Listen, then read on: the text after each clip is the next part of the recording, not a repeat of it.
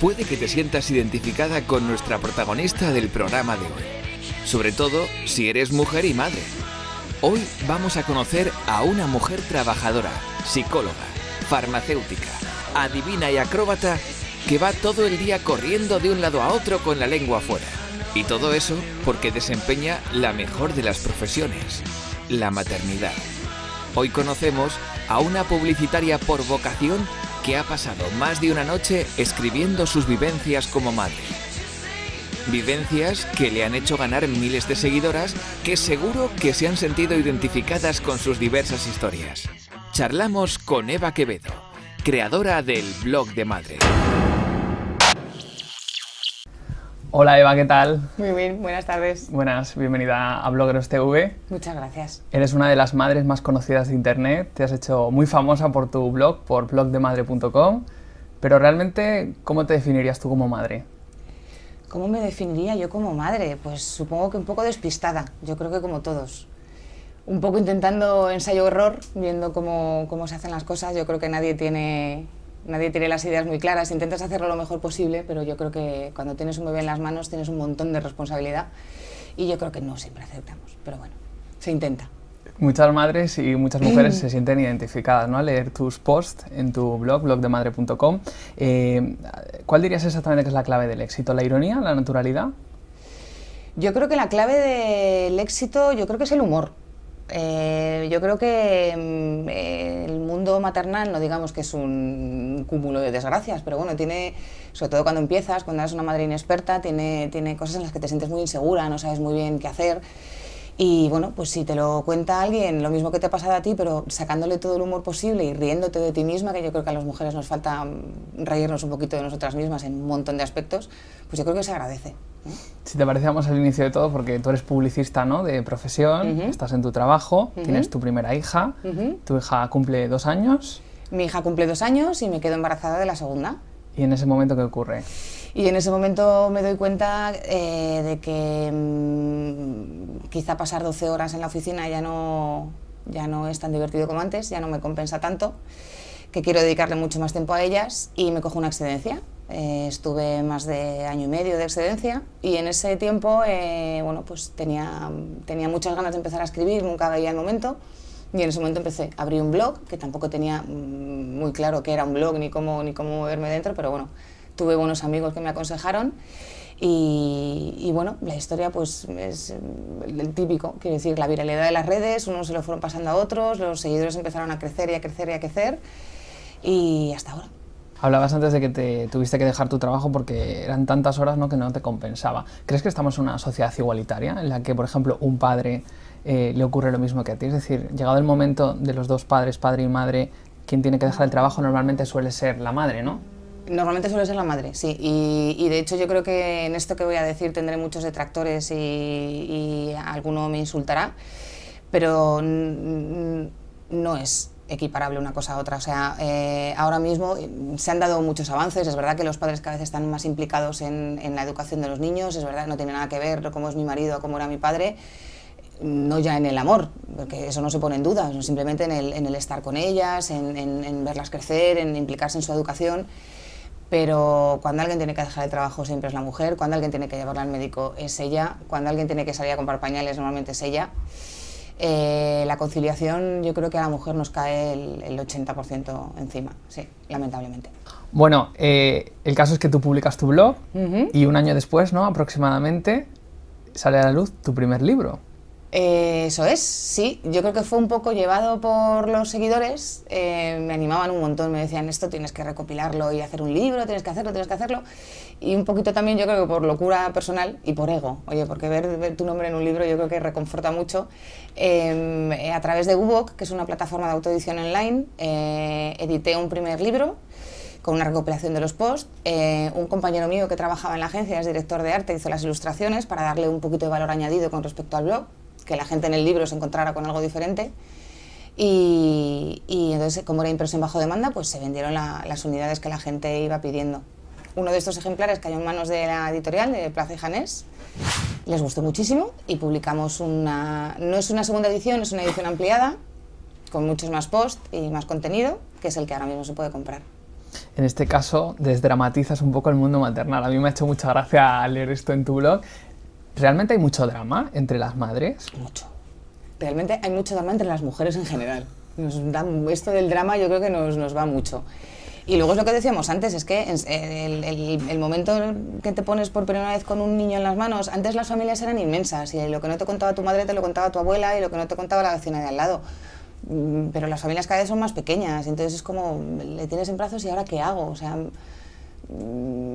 casi todas las madres en algún determinado momento embarazadas o, con el niño hemos echado mano de internet. Es como buscar el, amigo que te cuenta, mm, pues eso, lo que antes te contaba tu abuela. Es un poco ¿no? lo que ocurre, por ejemplo, ahora cuando, cuando te independizas y buscas recetas de cocina en YouTube, ¿no? Bueno, algo así. Es algo un poco impensable, pero que al final todos hemos hecho en algún momento determinado, ¿no? A ti también te ha pasado de buscar esa ayuda en internet cuando... sí, lo que pasa es que em, también hay que tener claro que em, en internet son opiniones de gente quiero decir. Eh, y de hecho en el mundo maternal hay, hay, hay, facciones. Está la facción de la teta ante todo, mmm, facción biberón, en, entre ellas están medio peleadas.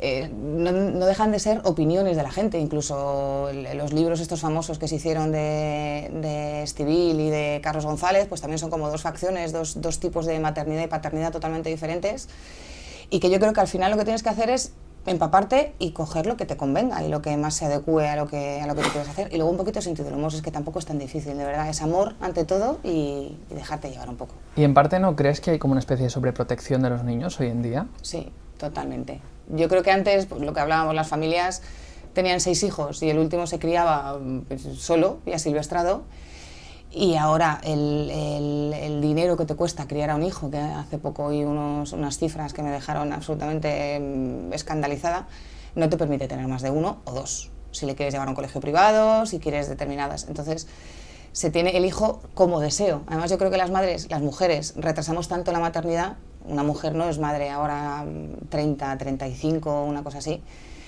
que sabes que vas a tener un único hijo, como mucho dos. Entonces se han convertido en objetos de deseo, no te puedes equivocar, tienes que hacerlo todo perfecto. no sé, ¿no?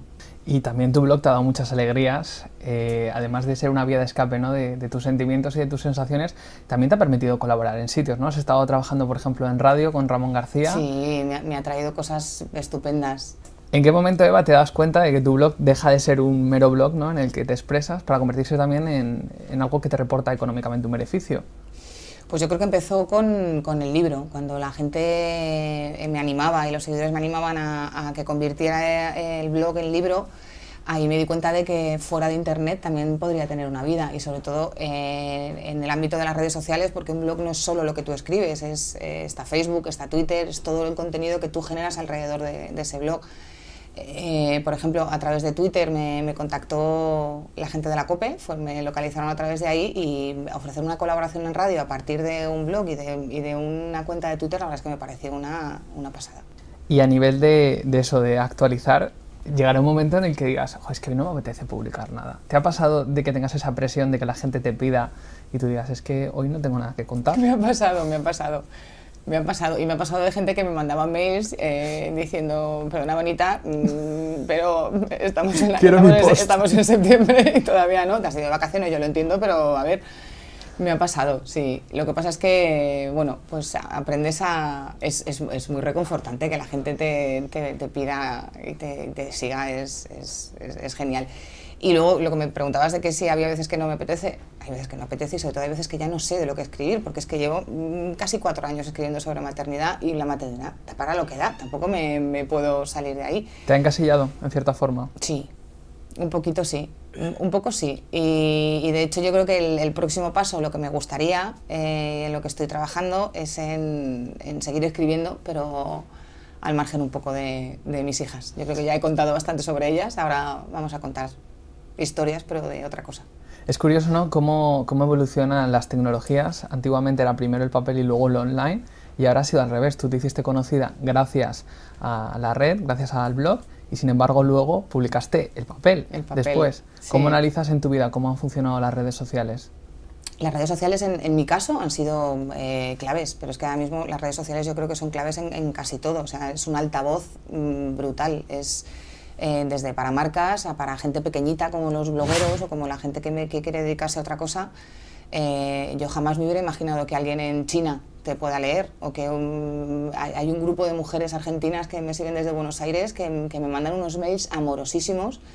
Pues si no hubiera redes sociales, eh, ¿sabes? De, difícil que te conozcan. ¿Qué es lo más bonito que te ha pasado gracias a tu blog? O ese mensaje que nunca olvidarás que digas, ostras, jamás pensé que esto iba a llegar a ocurrir. Pues, pues hubo un mail de una, de una chica hace mucho tiempo que no sé por qué me llamó especialmente la atención, además es que creo que me lo mandó como a las 5 de la mañana, a las 4 de la mañana, y fue muy cortito, pero me dijo algo así como, llevo llorando tres días, eh, tengo un bebé, no me acuerdo que tenía, pero debía ser muy, muy, muy chiquitito, debía tener semanas, llevo llorando todo el rato, no sé qué hacer con él, no sé qué hacer con mi vida, y mi único momento de, de, de relax es cuando abro internet y veo que has publicado uno nuevo. O sea, simplemente el saber que tú en otro rincón del mundo, escribiendo cualquier cosa tonta que se te pasa por la cabeza, puedes ayudar a alguien, es, es genial. Y en parte, ¿no sientes esa presión también? Como ya han visto ese lado humorista tuyo, ¿no? ese lado muy irónico, eh, de que a veces estés con tus amigos o con tu gente y te digan, venga, cuéntanos algo.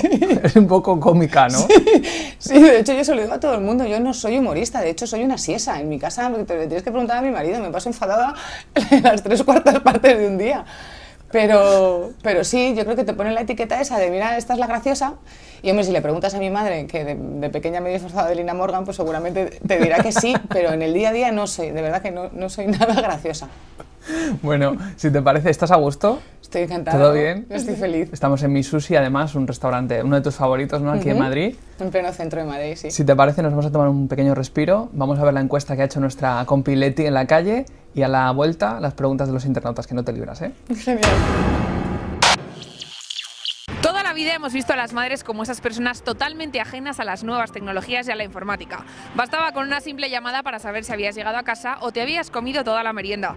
Pero hoy en día las cosas clarísimamente han cambiado. Ellas se han convertido en unos auténticos genios en Internet y además son las reinas de las redes sociales. Y algunas, como el caso de Eva, son unas auténticas blogueras de éxito que aconsejan a padres y madres de todo el planeta. Por eso hoy hemos salido a la calle para preguntar sobre las madres y sobre Internet. ¿Tú usas Facebook? No. Eh, sí, pero ahora mismo lo tengo cerrado. Sí. No. ¿Nada? Sí. No. ¿Y tu madre usa Facebook? Lo intenta. lo tiene, pero no lo utiliza. Tampoco. Tampoco. Me temo que no. ¿Tú crees que ese rumor que dicen que las madres tienen Facebook para cotillear un poco a sus hijos es verdad o mentira? ¿Verdad? Hombre, algo de eso sí que hay. Sí, hay miedo de... Sí, un poquito sí. Quizás, no sé. Sí, puede ser que sí. sí. pero bueno, me parece una tontería. Me creo que pueda ser así. Sobre todo las madres más jóvenes que están más metidas en este mundillo. Sí, me lo creo. Sí, sí, me lo creo. Mm, de hecho, estoy casi seguro. ¿Conoces algún caso? No, pero si, me, pongo en su lugar, quizás lo, lo, hiciese. Es lo mismo que antes cuando te abrían las cartas cuando eras pequeña y te abrían las cartas, pues esto es lo mismo con el Facebook. ¿Pasas muchas horas en internet? Sí. No, tampoco. No. Sí. Pues sí, desde las 7 hasta las 12 de la mañana hasta estoy todo el día conectado. Bastantes, no sé exactamente cuántas, no sé, a lo mejor tres horas o cuatro. Muchísimas horas en internet y, con el email y con el estoy trabajando y mi trabajo son pues todo el tiempo con el ordenador. Si tuvieras algún blog o fueras bloguera, ¿de qué te gustaría tenerlo? De moda. Viajes. Eh, de música. Bueno, divertida la encuesta de nuestra compañera Leti, como cada semana, pero ahora te toca a ti, ¿eh? someterte a las preguntas. ¿Estás preparada? Preparadísima. Nos han llegado un montón de internautas. Mira, por ejemplo, José Fernando nos dice en Twitter, Hola Eva, ¿cómo crees que ha influido la sociedad en la que vivimos hoy en día en la vida de una madre? Wow. Difícil, ¿eh? ¿eh? Pues yo creo que, no sé, la sociedad, yo creo que la maternidad de todas formas también es reflejo de la sociedad en la que vive. Yo supongo que no será lo mismo la sociedad en la maternidad en, en Europa que como es la maternidad en África, obviamente. Eh, yo creo que aquí en España eh, vivimos en una sociedad un poquito todavía encorsetada, que es, es, muy cruel muchas veces con la gente y yo creo que ese afán de perfeccionismo a las madres nos hace un poquito de daño. Eso te iba a decir, una amiga mía, Esther, antes de venir a la entrevista me hablaba de, las madres alfa, que yo no sabía lo que era.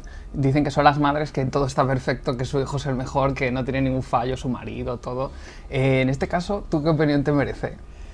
Eh, madre tipo Anamato, ¿no? Que su momento ideal de eh, su día es cuando le bajan a los niños perfectamente vestidos y conjuntados. Exacto. Todos iguales, todos perfectos, todos tal. Eh, pues yo creo que es un poco papel. O sea, quiero decir, es un papel que interpretas. Yo no, no creo en la maternidad perfecta. No, una casa cuando se cierran las puertas, yo estoy convencida de que todas las madres tenemos las mismas frustraciones, damos los mismos gritos, porque la crianza es eso. O sea, no, no me suelo creer a las madres que su vida es perfecta. Nos llegan más preguntas. Por ejemplo, nos preguntan en Facebook, mamá todo el día, me ha gustado mucho esta pregunta, dice, ¿crees, dice, que algún día encontrarás tu nuevo yo o te has olvidado de él definitivamente? La frase donde he dejado yo mi yo creo que ha tenido mucho, ha tenido mucho recorrido.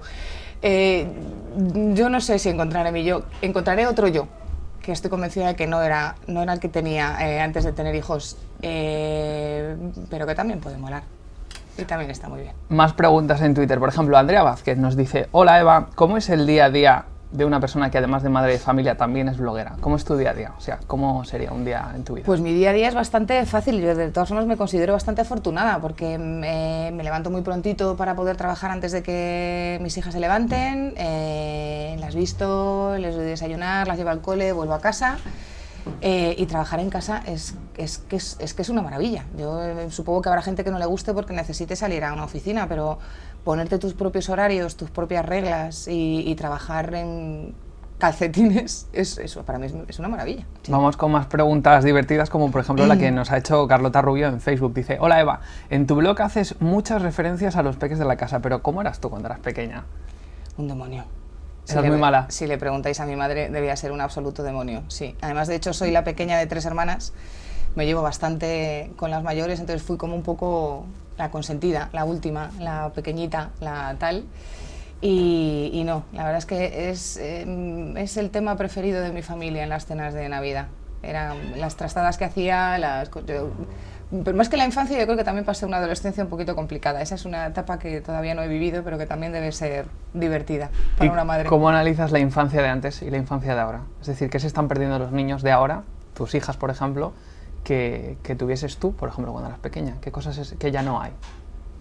Eh, muchas. Yo creo que muchas, el jugar en la calle. Bueno, y eso que nosotros vivimos en una, en una zona que tiene bastante verde y, y la suelto ahí bastante para que... Pero sobre todo hay una cosa que los niños en general de ahora no hacen nada y es aburrirse. Y yo creo que aburrirse es espectacular para desarrollar la imaginación. Ahora los niños parece que tienen que tener algo en las manos. Si no están haciendo una cosa, están con otra. Si no están viendo la tele, están con el iPad. Si no están con el iPad, están... Y los padres como que necesitamos llenar ese, ese hueco. Yo a mis hijas les digo muchas veces que se aburran. De hecho, es vete a la habitación y abúrrete un rato. Cuando te aburras, vuelves porque creo que es muy necesario. Mira, precisamente de eso eh, va la siguiente pregunta. Teresa Martínez, que parece que te ha leído la mente, dice, Eva, tú eres madre y también bloguera. ¿Hasta qué punto tenemos que dejar a nuestros hijos que tengan uso de las nuevas tecnologías de la información? Es decir, todo iPads, eh, ordenadores, redes sociales. Es, es, un tema, es, un tema, es un tema complicado y de hecho yo lo estoy empezando a vivir ahora porque mi, mi hija mayor tiene 7 años en el colegio ya hablan de determinados programas, determinadas series que yo no considero que deba haber porque es muy chiquitita todavía. Y, y, coger el iPad es tan fácil como buscarlo. Es que es tan intuitivo todo. Tampoco se les puede poner, eh, quiero decir, la, la, la, información es buena, solo hace, hace, falta saber manejarla. Entonces yo procuro pasar tiempo con ellas diciendo qué, qué programas están bien y qué programas no están bien. Un programa puede estar bien cuando tienes 15 años, pero no cuando tienes 7 para que también ellas vayan entendiendo que no todo es malo, sino simplemente dependiendo de la edad que tengas.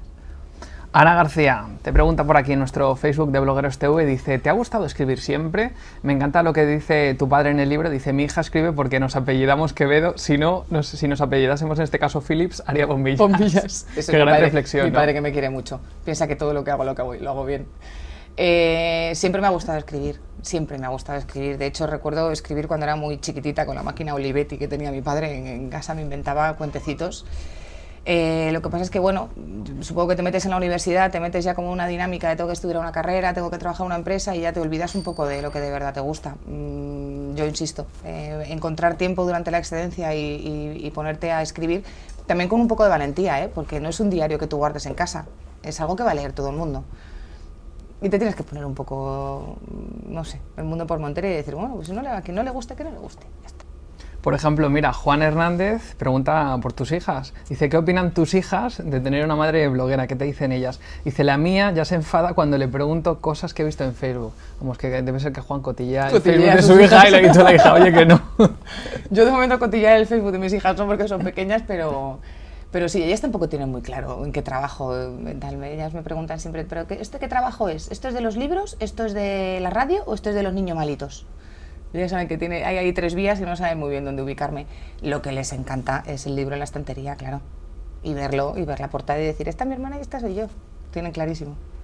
Además, quería que me hablaras sobre eso, sobre la labor tan bonita que hacéis, eh, en este caso tú como Community Manager. Háblanos de ese proyecto exactamente, en qué consiste, eh, Juegaterapia se es llama. una fundación preciosa que se llama Juegaterapia, que empezamos hace cuatro o cinco años, que a partir de una idea brutal que tuvo mi amiga Mónica, eh, ella tenía en, en el maletero de su coche una consola de videojuegos que su marido ya no usaba.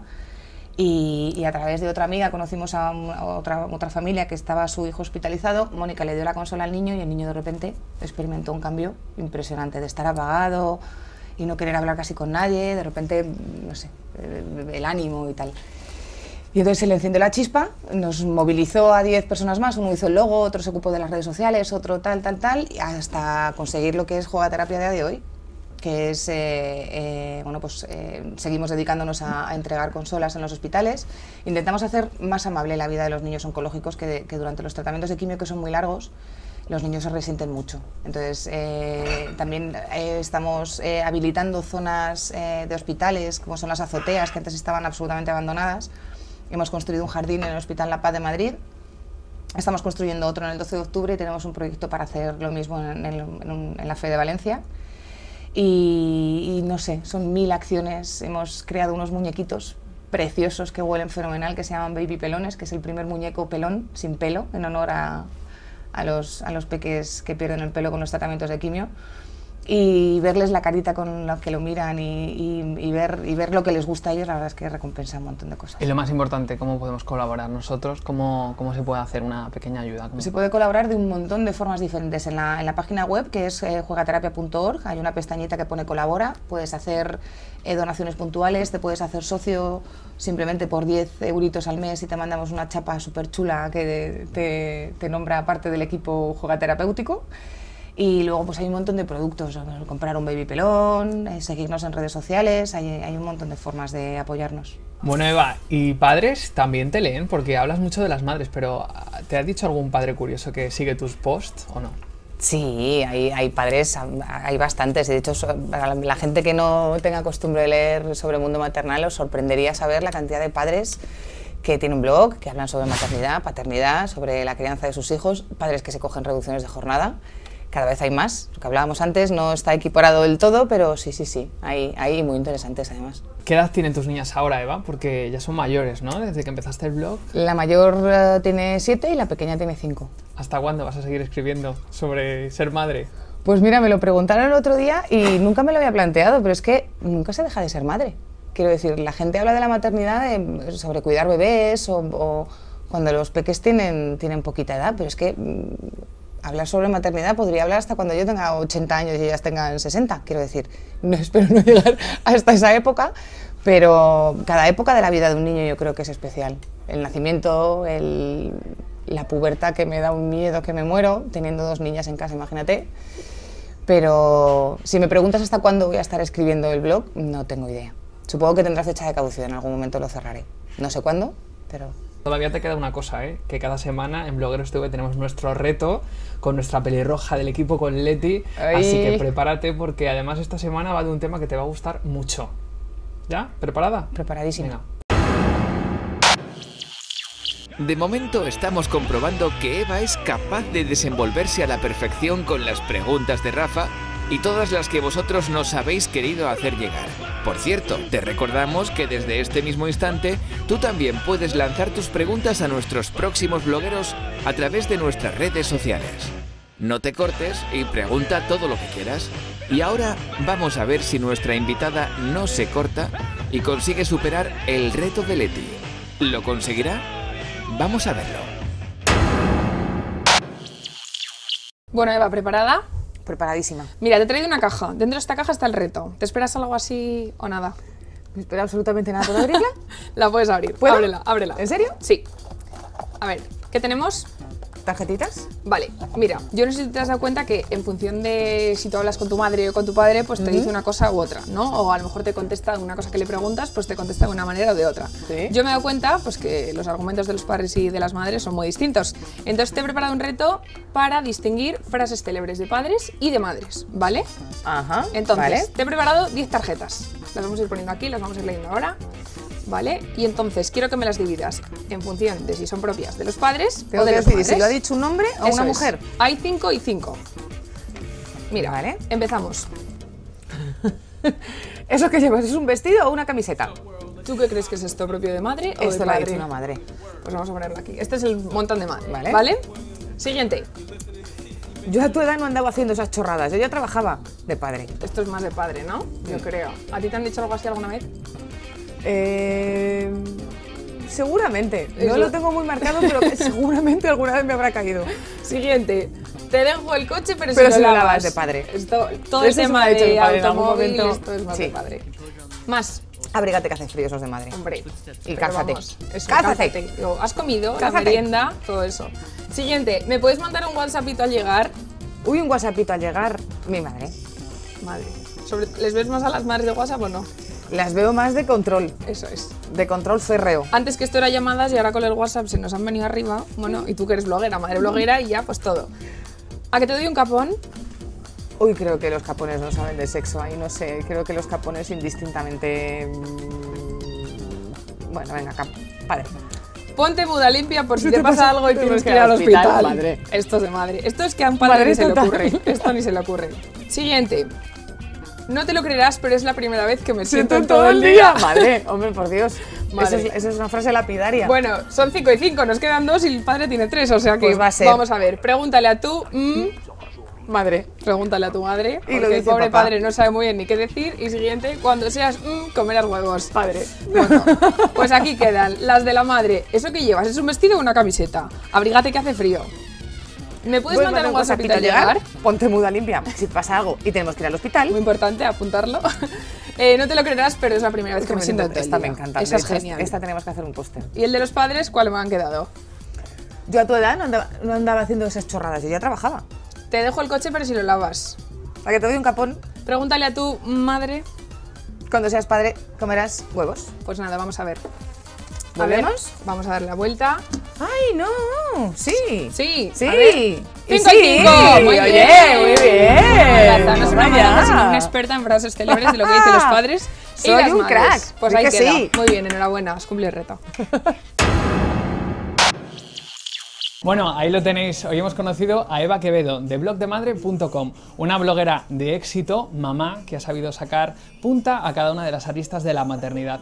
Y por cierto, la semana que viene conoceremos a otro bloguero o bloguera que nos cuente su historia y al que, por cierto, tú ya puedes ir lanzando tus preguntas a través de las redes sociales. Como siempre, disfruta de internet, ánimo con tu blog y ya sabes, nos vemos aquí en Blogueros TV. Ya lo habéis visto, Eva Quevedo es un ejemplo como bloguera y como madre, una luchadora incansable que ha logrado hacer de su maternidad su profesión y demostrar que desde casa se puede trabajar y disfrutar al mismo tiempo. Nuestra protagonista de hoy ha conseguido que la gente se identifique con sus historias, relatadas todas ellas con un irónico sentido del humor, haciendo gala de una sinceridad natural y sobre todo con mucho optimismo. Así que ya sabes, si tus hijos te desesperan cuando llegas a casa y llevas días sin poder pegar ojo, pásate por blog de madre y no te pierdas los divertidos posts de Eva Quevedo. Por cierto, lo que tampoco te puedes perder son los artículos que cada semana colgamos en nuestras redes sociales. Entra, opina y cuéntanos tus historias en nuestros perfiles de YouTube, Twitter, Facebook, Instagram y por supuesto en nuestro blog, bloguerostv.com. Hasta la próxima semana.